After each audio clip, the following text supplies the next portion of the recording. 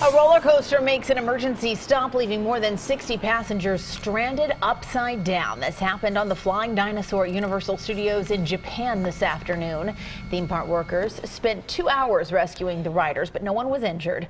Investigators say the emergency stop was made after a safety device detected an abnormality.